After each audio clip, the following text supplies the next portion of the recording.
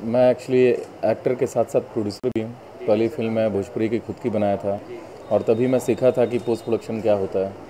Film सीखा भी, बनाया भी एज अ प्रोड्यूसर भी इस्टेब्लिश हुआ एज एन एक्टर भी इस्टेब्लिश हुआ।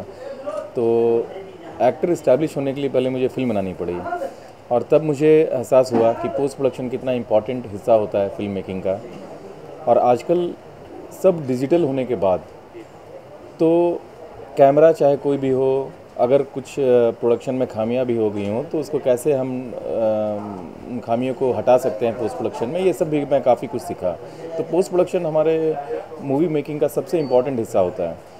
और बहुत अच्छा लग रहा है कि हमारे बिहार के उन्होंने शुरुआत की है। और मेरे घर के पास है तो मेरे लिए सहूलियत रहेगी।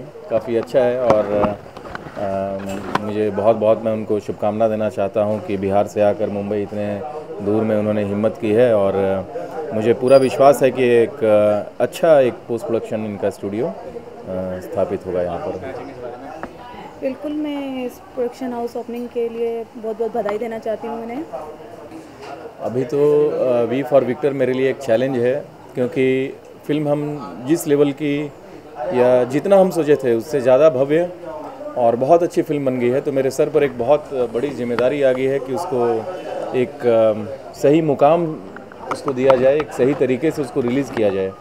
तो एक भव्य रिलीज़ की हम तैयारी कर रहे हैं। तो मेरा पूरा फोकस उधर है, लेकिन साथ में एक बहुत अच्छा मेरे पास सब्जेक्ट है, जिस पर मैं फ़िल्म बना रहा हूँ मास्टर तो मास्टर का अनाउंसमेंट हम जल्दी ही करेंगे, और जल्दी ही हम विक्टर के रिलीज़ का भी अनाउंसमेंट करेंगे। थोड़ा उसकी हम तैयारी कर रहे हैं अभी, और विक्टर का फ़र्स्ट कॉपी आएगा अभी दस दिन के बाद तो उसमें अभी हम बहुत ही ज़्यादा बिज़ी हैं।